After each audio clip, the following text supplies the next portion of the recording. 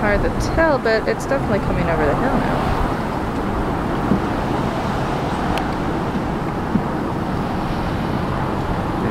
All the looky-loos have gone in. Should we be concerned?